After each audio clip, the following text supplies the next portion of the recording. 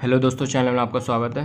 तो आज मैं टच प्रॉब्लम और है ना मल्टी टच और जितने भी ये है, टच फ्रीज, इन सब के सॉल्यूशन बताऊँगा, कैसे ठीक होगा। मेरे फ़ोन में भी हो रहा था रियल मी थ्री में मैंने इसको सॉल्व कर दिया। बहुत इजी है, कुछ नहीं करना आपको। कुछ ही स्टेप से उसे ध्यान से देखना और पूरा वीडियो देखिए।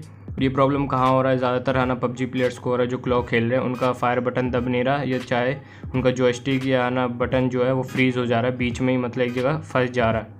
तो इसको फिक्स करना बहुत ईजी है और पूरा देखिए और एक और बात, जिनका नॉर्मल भी टच प्रॉब्लम हो रहा है, वो भी ट्राई कर सकते हैं। तो चलिए शुरू करते हैं।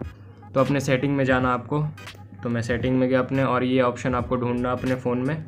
हर के फ़ोन में होता है ये ऑप्शन थ्री फिंगर स्क्रीन से यहीं तक सहमत नहीं, पूरा सुन लीजिए। ये तो सिर्फ़ ऐसी है, मैंने नॉर्मल बता दिया। थ्री फिंगर्स ये स्क्रीनशॉट है गेस्चर इसको आपको जो एनेबल होगा आपके फ़ोन में, उसे डिजेबल कर देना है। बहुत लोगों का इससे ठीक हो रहा है, मगर मेरा इससे ठीक नहीं हुआ था। ऑन है, बंद कर देना, इसीलिए मैंने ऐसी स्टेप के लिए बता दिया। अब आगे चलते, जिनका इनसे भी इस सेटिंग बंद करने से भी नहीं मतलब ठीक होता है, टच प्रॉब्लम, पबजी खेलने में या नॉर्मल चीज़ों में।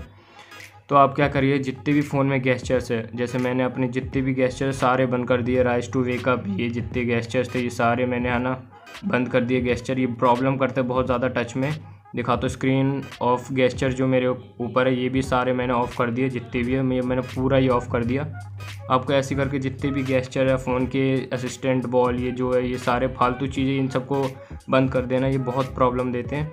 और नेविगेशन बटन ये नेविगेशन में आप स्वाइप गेस्चर मत रखिएगा ये भी प्रॉब्लम करता है। टच में मेरे खुद हो रहा था पबजी खेलने में मैं खुद थ्री फिंगर क्लो खेलता हूँ। मेरा फायर बटन दबाने में बहुत प्रॉब्लम हो रहा था। आप वर्चुअल बटन कर सकते जैसे यहाँ ऐसे बटन आ जाएँगे आपके पास नेविगेशन के लिए।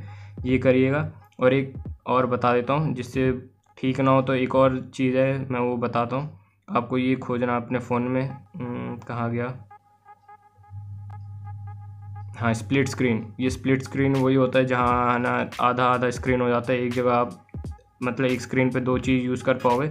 इसका भी गेस्चर आता है फ़ोन में थ्री फिंगर से या ना, हम इसको ऑन कर सकते हैं। इसे भी आपको डिजिबल कर देना है। जैसे आपका एनेबल हो, ऐसे आपको डिजिबल कर देना है। आपका ठीक हो जाएगा। और एक और लास्ट आपको बता देता हूँ, कैसे ठीक हो खाली इन सब चीज़ों से भी ठीक ना हो तो एक लास्ट और बता देता हूँ। पक्का पक्का हो जाएगा। खाली जिनका ठीक हो जा रहा है, इन्हीं सेटिंग से। तो अच्छी बात है, आप खेलिए, मज़े कीजिए। और जिनका अभी भी ठीक नहीं हुआ, ये सारा सेटिंग करने के बाद भी। तो एक लास्ट बता दे रहे हो, इससे हंड्रेड परसेंट आपका हो जाएगा।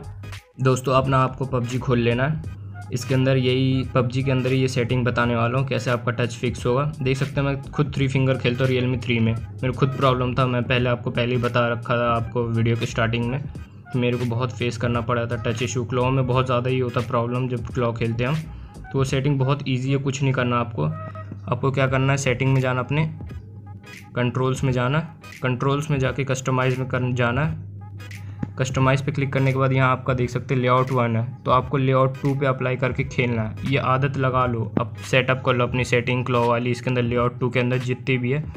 क्योंकि लेआउट वन मुझे ऐसा लगता है कि एक तरह का पबजी का एक ग्लिच है जो है ना टच सही से मतलब जो फ़ोन का रिकोगनाइज़ नहीं कर पाता, जिससे आपका जो टच है फ्रीज़ हो जाता है या टच चलता नहीं है। तो आप लेआउट टू में खेला करो। लेआउट टू बहुत अच्छा है। जिनके यहाँ, जिनमें फ़ोनों में ज़्यादा टच इशू हो रहा है तो लेआउट टू ज़रूर ट्राई करें। उसके अंदर अपनी सेटिंग जो भी लेआउट वन में थी लेआउट टू में कर दीजिए। इसमें टच इशू नहीं होता लेआउट टू में बहुत प्रॉपर से चलता है इसके अंदर विदाउट एनी प्रॉब्लम के। और मैंने ज़्यादातर ये फ़ोन है रियल और एम के फ़ोन ही में ज़्यादातर टच इशू होते हैं, पबजी में। तो ये सारे जितनी भी सेटिंग मैंने बताई है अप्लाई करके देख लेना। और ख़ाली ना हो तो प्लीज़ फ़ोन चेंज कर लो या आपके यहाँ ना जो लॉन्चर है फ़ोन के अंदर, उसी के अंदर कोई ग्लिच होगा जो टच इशू हो रहा हो तो आप अपने कंपनी जो फ़ोन के, उसको जाके रिक्वेस्ट कीजिए ईमेल कीजिए कि कोई अपडेट दे, जिससे हमारा टच इशू फिक्स हो सके। और जो सेटिंग बताइए, खाली इससे भी ठीक हो जाए तो ज़रूर कमेंट में बता दीजिएगा वर्किंग है हमारे लिए तो मुझे भी अच्छा लगेगा वीडियो बना के मतलब मैंने हेल्प करी किसी की। तो वीडियो अच्छी लगी तो लाइक करना वीडियो को शेयर करना, और चैनल को सब्सक्राइब भी करना। तो मिलते हैं किसी नेक्स्ट वीडियो में। तो बाय बाय